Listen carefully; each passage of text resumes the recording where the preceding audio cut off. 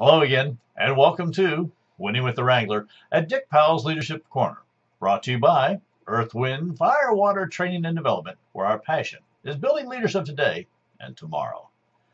The information on today's program was gathered from many different places and many different people. So if you hear yourself in our conversation today, it's not all about you. Now, for speaking appearances or just want to take and talk to one of us, give us a call, 727-422-1833, or send me an email, dick at ewfw.org. Now, this morning we have Miss Robin with us. Robin, how are you doing this morning? I am terrific. You know, this is a great opportunity, what we're going to talk about today, isn't it? Is it? Well, I believe it is. Oh, it is. It's important. It's actually about leadership. It really is. I've been asked some questions about this thing called how do I model leadership? You know, I think I'm a leader, but how, how do I really put it into place? And when I started to really think about that, I had some questions that really came up in my mind. No. And so I started asking people things like, what does it look like to you? What's leadership look like to you? And it amazed me when I was doing that, that I got some really stymied expressions that never really had thought about it.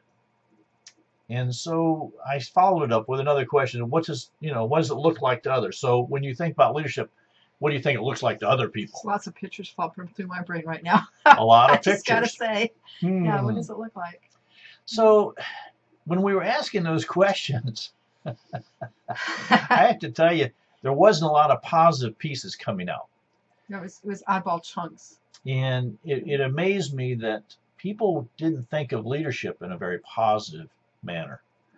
They oftentimes put it into negative words that we won't use here on the air.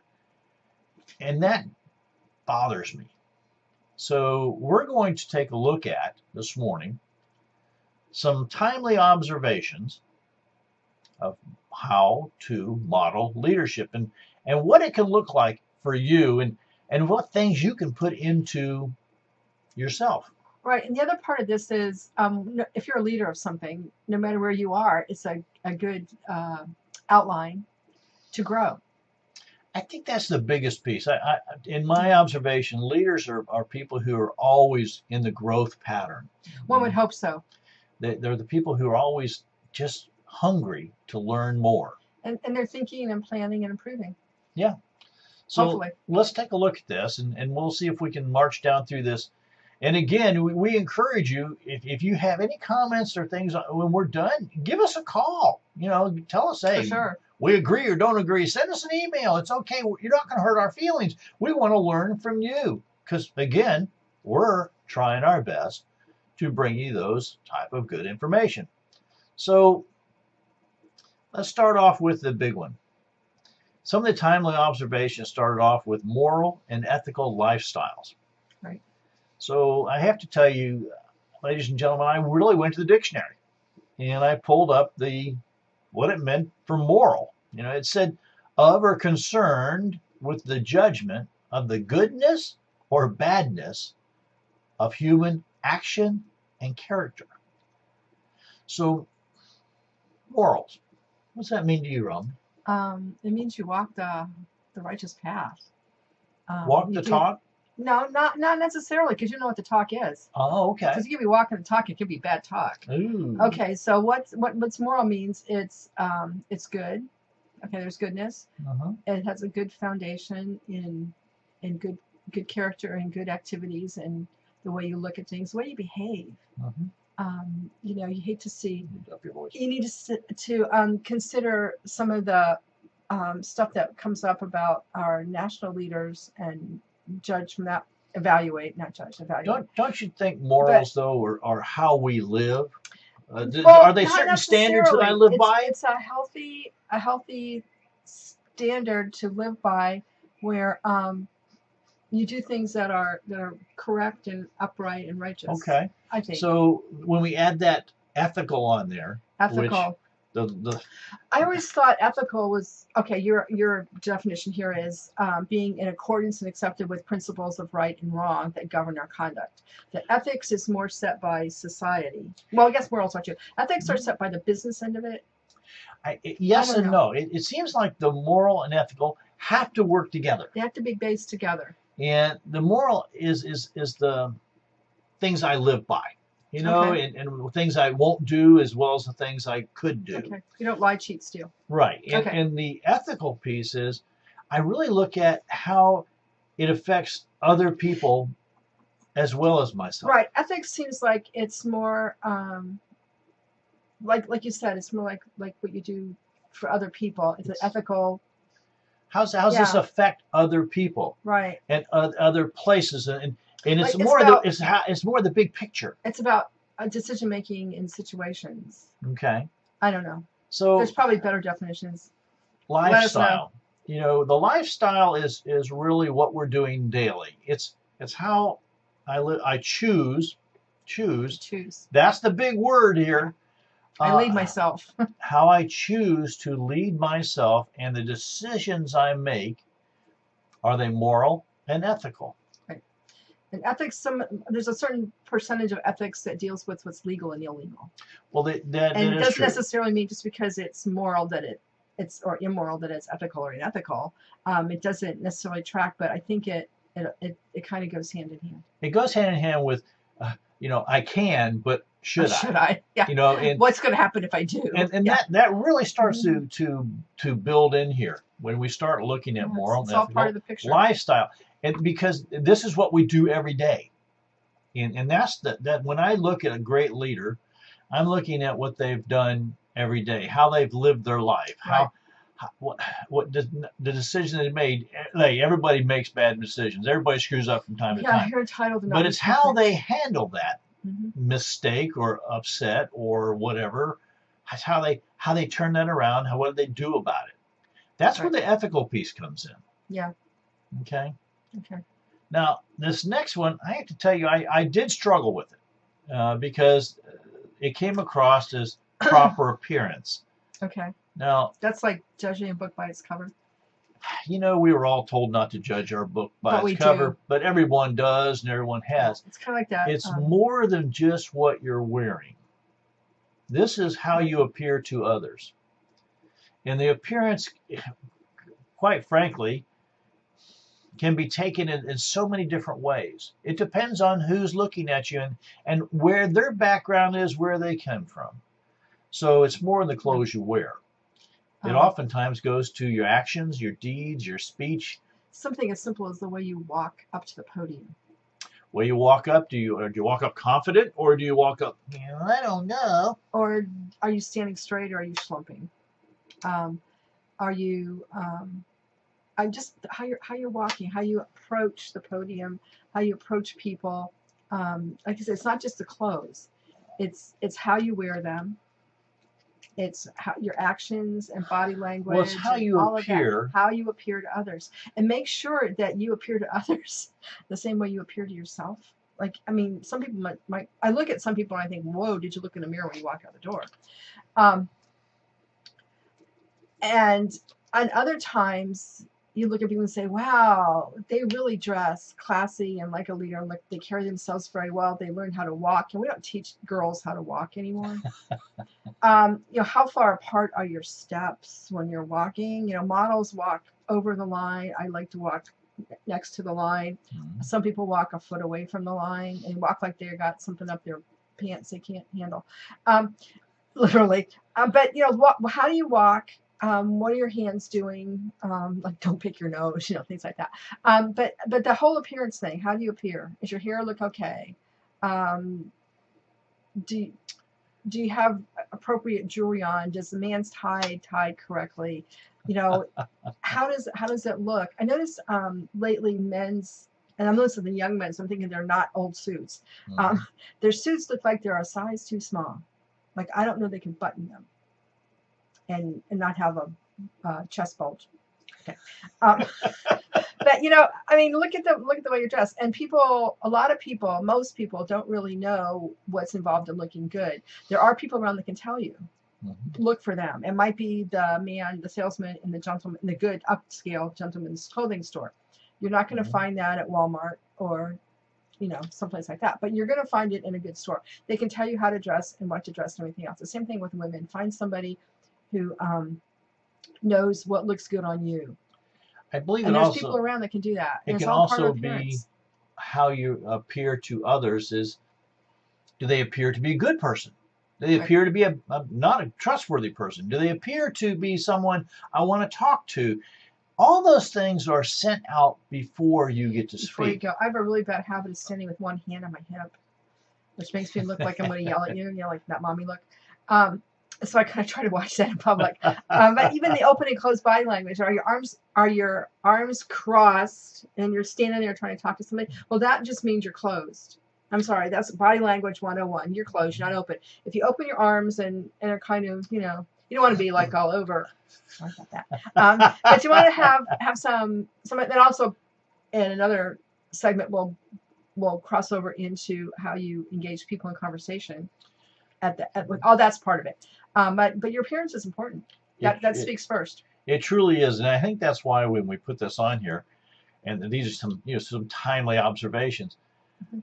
I've met some people who I I really liked, and I really wanted to be a follower. or wanted to be in their in their corner, but they just appeared to be less than trustworthy.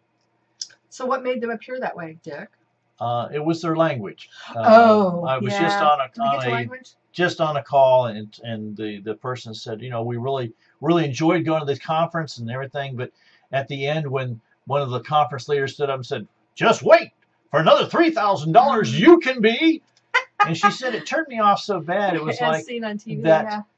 you know i enjoyed the whole conference until that last very moment and i walked away with a really bad taste in my mouth and and that happens a lot. Um, uh, we have been over the years involved Mm-hmm. in some multiple marketing things and still involved in a couple. But one of them, one of the things that offends me about their their weekly presentations we used to do, and it actually offended the people that we were presenting to for the first time. yeah Is there's there's a it's a 30 minute presentation. There's eight minutes about the product. They should stop there. The Yeah. next 15 minutes is about the next product. So, when when you're doing But wait, this let me finish. okay The last the last time is trying to get you to sell the product. yeah You haven't even bought the product yet. You got no business selling it. And I can keep telling them, stop there. Anybody who's interested, the, the people that brought them can give them the rest of the story. But we don't want to sit through a 45 minute presentation where 12 or 15 minutes of it is important. The rest of it's not. so the appearance there It's part of the appearance, right? What is what are you leaving? That, that's what we're really, it's more than just what you wear. And that's what we're trying to get across here. It's Mhm. how you appear to people when they walk away. Exactly. What do they remember? what's left in your in their mind. Mhm. What do they remember? Yeah, that was good, Rob. Thank you. I'm, I, we, it came up over and over, and you know the presenter never changed the presentation. Not even when we spoke to him, by the way. No, we spoke to them, the people we brought spoke to them and said, I was really in it until you got, at, at this point, I was in. By the time you got done, I'm done.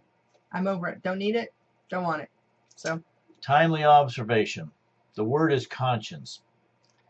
I looked this up, and it was more than Jiminy Cricket sitting on my shoulder, which is what I grew up with, just so you know. you have to I watch mean, Pinocchio to know what I, that meant. kind of like Walt Disney and the Jiminy Cricket was my conscience on my shoulder and told me what was "Ah, you shouldn't do that or that's not good for you.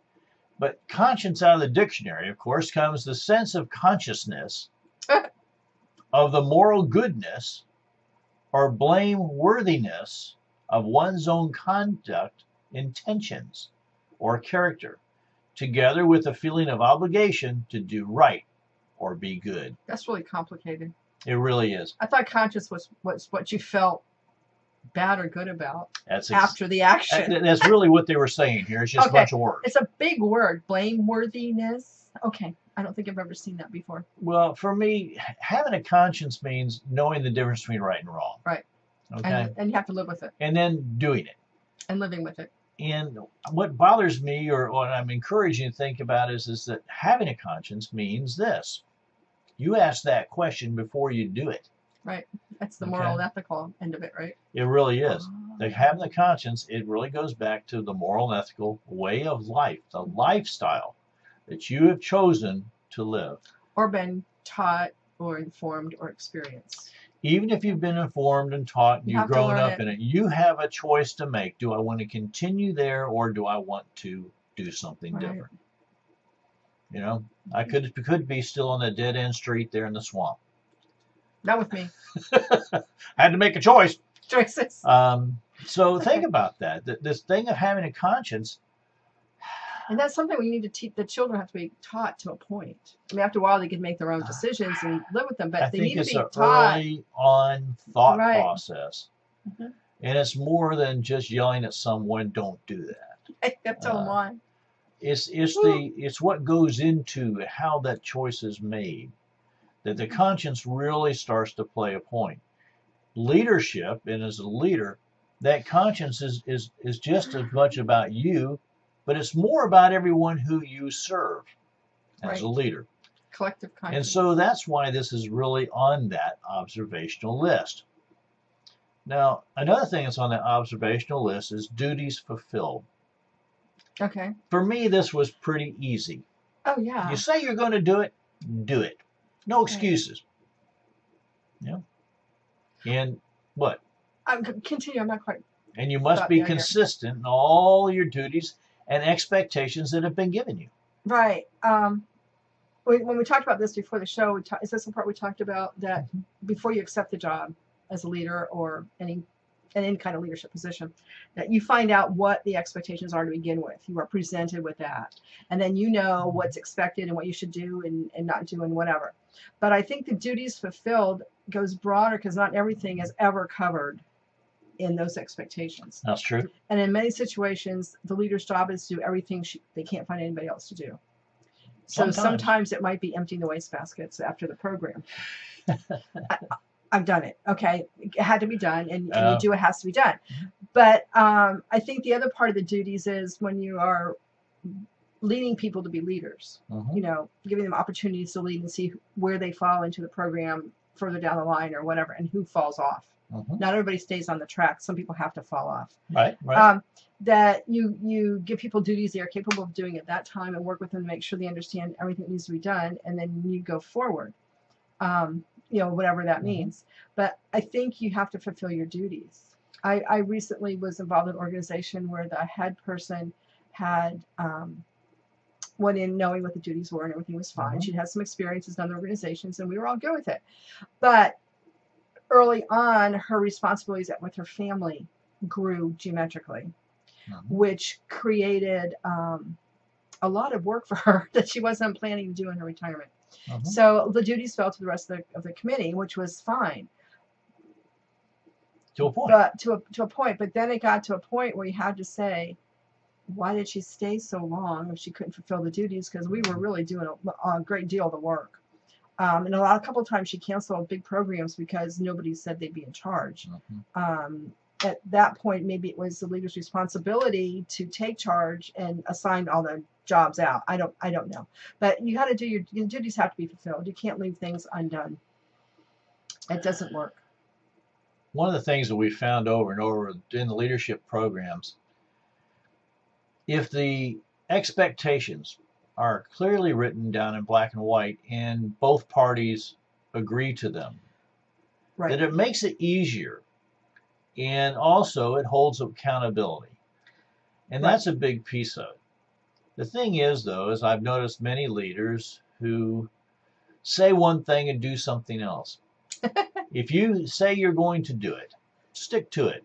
No excuses. And if you say someone else is going to do it and they're going to be able to have some certain jurisdiction over the way it goes, stay out of it. Stay out of it. let them do up. it be there to help and everything else but don't don't i once was asked to do some jobs for on a committee i was on um, and i did whatever was required it was all background kind of stuff did whatever was required it was all done go to the meeting um, the person that assigned me the, the task assumed evidently that i wasn't going to do them and was literally open jaw drop in shock that i had done them now i didn't know if that meant she didn't trust me to do them Oh, she wanted to do them or that's a her her previous experience was people didn't do them.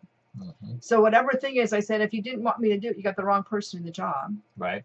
And and at that point, because it's a committee, it's not just two of us talking. She stuck with what I said, with what uh-huh. I what I came the conclusion I came to, because there was no guidance or anything else. So I don't know what her answer would have been, but we went forward with Robin's plan because I think at that point everybody realized that if they stomped on Robin one more time, she's going to walk away, and then they're going to be screwed because if they need something done, there's nobody there to do it. All those are part of leadership and doing the jobs, understand the responsibilities to begin with. It all goes together, and it happens over and over again. Huge piece. I hope I haven't done that to anybody. I really hope I haven't, uh, because it's not a good practice. Yeah. And it's not a good way to appear in front of the group. Another one of our really good observations. I put down relationship builder. As a leader, This it's good. This it good. seems to me that relationship building is is a big part of what you're called to do. Uh, one of my friends that are coaches, she sent me something this morning that I really, I told her I was going to borrow and use today, We're gonna plagiarize it. and Trust and me. uh, she was very open about it and said go for it. It's called HEART, H E A R T, and it stands for humility, excellence, authentic, reliable, trust.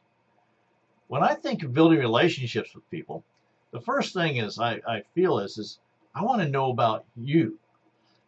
This morning I was on a call with another coach and and uh, she was a little bit shocked when I said to her, "Well, tell me about yourself. I, I want to learn about you. What, what what have you been up to? What are you doing? How are you doing it?" And uh, she said, "No one usually asks me that question. It's you know." Mm. I said, okay. So I, I feel like humble yourself just a little bit and realize it's not all about you. The thing about excellence really was is uh, you try to do your best. Do your best to be excellent in all you do. If it's building relationship, that really means being there in the moment, being there for them, listening with the intent to learn listening with the intent to learn. It's much different than listening to give an answer. or, or whatever, you- or listen, so you can say whatever you want to say afterwards. Yeah. Well, yeah, I've already got my script all done. Would you get done talking so I can use my script? Right. Yeah. That's not a good plan. Be authentic. Be who you real. really are. People can really spot phonies. Whether you believe it or not, the fake it till you make it thing just is not true. People can spot that pretty darn quick and they know when you're being a phony and when you're being authentic and being really who you are. It really is a big piece. I'd rather put something there like do the best you can and be as real as you can until you can do better, you know, but keep growing. Yeah, But again, you got to be authentic. be You reliable. be real. be reliable. If you've made an appointment to speak with someone or if they've taken the time to be with you, be reliable. Be there. Be on time. Mhm. Be prepared. Have a pen and pencil. To have something. Be prepared. Don't don't just show up and be willy nilly. Be reliable to the point where, hey, they they they're ready to come and speak. Mm-hmm. Share. Be part of a relationship. And the last one, trust. This is the one that all all if you don't have the humility, excellence, authentic, reliable, trust will never happen. It's not going to be there. That's why I, I, I really like this whole piece. I when she, wondered about that. Okay. she put yeah, that that on the makes sense. because without trust, You got nothing. you can't have a relationship. You have nothing. You have an acquaintance. Okay? And even acquaintances take trust. Just so you know. And the big one about relationship builder is you have to be available. Yeah, and that means open-minded. Mhm. Time, your time has to be Mhm. available. You have to be open-minded, and you have to listen. And if if it, if it's required for you to give, you know, some Feedback. not well something. feedback, I was saying, or some suggestion how to go forward or something. Mhm. like that. Um, that that's okay, but it's not always necessary just to be available. there's a big difference when we work with people, when I work with people in the leadership organizations, of just having someone you're talking to and building a relationship. Relationships normally are more than just one time. They're a long-term piece, which means they take time, they take intentionality to put together. In order to do that, you have to be available for one another. Right. And and like yesterday, you know, you get a phone call at some weird time of night and, and this person is in need so you take the call. I, I probably could have told him to call back some other time when it was more you know convenient for me Office hours. but what's convenient for one might not be convenient for the other but when you're available available. that's what relationship is all about what do you think I think that's all well well said. And um, I mean, if you didn't catch it, all those letters stand spell out heart. So you know, Think about where's To- your to- heart? Where's your heart? When Where's you're building your- relationships, where's your heart? Where's your heart? Humility, excellence, authentic, reliable, trust. And not all all relationships that come your way um, need to be need to be fulfilled. Hello, is Richard there? Sorry, Um, let me see. we see. get an ungodly amount of telephone solicitation phone calls. Yeah. All right. The last one that's on our list for timely observations is priorities and the Oh. ability to set priorities. And I'm going to put parentheses around this thing. Okay? Here's the deal leaders set priorities through the lenses of the vision, the future picture, the mission, the calling or purpose, and the strategy, the plan. And people set priorities according to their their business, their opportunities, their family, and their friends. Yep, they're both. And they're boss. And if it doesn't fit, it, it doesn't work. You have to have the priorities set. What is a priority? Um, You know sometimes when someone calls at 10 o'clock at night, it has to become the priority because they've really got a problem they need to talk to you about. Right. So you take the call. Um, usually that's a family member, by the way, just so you know. Uh, but but it's a family member and you need to take the call. Um, but you have to always remember when you're setting your priorities whether you're going to take a, a job or do a do a, a little something for a group or be in charge of the group or whatever wherever's involved. Meet somebody for dinner whatever's involved. Is it part of your priorities? Where does it fit? And is it part of your vision your mission and your strategy to do that or not and if it's not say oh thank you very much for thinking of me but if this is not going to work at that time. can we, and can we, can sometimes we that's a set this another time? So we set another date? Um, what can we do? many, many years ago, I was invited to, by a, a woman to join a, a women's sorority kind of organization, I think. Um, at the time, I was involved in a lot of different things that had, and kids still living at home that required mommy, mommy stuff, you know, and a daddy required mommy stuff, you know, all that kind of thing. And I just said, oh, thank you for, for wanting me to be part of that. That's really huge. But right now, I just can't put one more thing on my plate. But call me in six or eight months, Mhm. and these things are going to be ending. I'm going to have some more free time, and I'd like to talk about it. Sure. Sure. That was, you know, and that's the whole That's thing. honest. Setting the priorities uh, was was quite what you have to do. Robin and I have priorities here to, to do the radio shows, to to you know drive the bus for the church. We you, you name it. We have a, a list of priorities that that we have to look through. Right.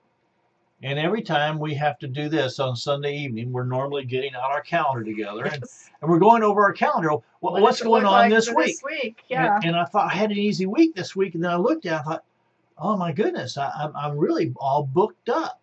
Well, in all honesty, um, I came in a little bit late to, to this show. We were going to do it this morning to kind of 10 o'clock phone call. Um, and I was going to, we we're going to be done, and we're sitting here at, and it's 9.34. And he says, well, this will only take 30 minutes. I go, yeah, but it's 9.34. I'm sorry, I forgot your 10 o'clock call. And so you go away and do what needs to be done. He does his call, and we came back and did it about 10.30. Um, so, um, but again, it's the priorities. The call was a priority over the radio show.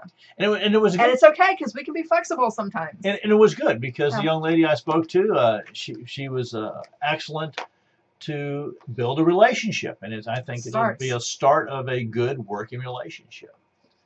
Well, I see our time is moving to a close, Miss Robin. So, on behalf of myself, Dick Powell, and Robin Powell, and the whole Leadership Corner team, we want to say thank you for being a part of today's program. We hope that you have received a nugget of wisdom and guidance that will help you build your leadership ability. Now, if you have any questions or comments on today's programs, don't hesitate. Give us a call, 727 422 1833. Just give me an email, dick at ewfw.org. Go to the website, spend some time, look around, and, and there's a place there to leave me a message, www.ewfw.org. And when you know that you're ready to take and have us come and do a leadership opportunity with you, again, just give us a call. Let us know how to do it. Take some time and always realize no matter what your organization you're in, no matter what you're doing, you are a leader. Well, until next time, this is DW the Wrangler saying, ride hard, ride fast.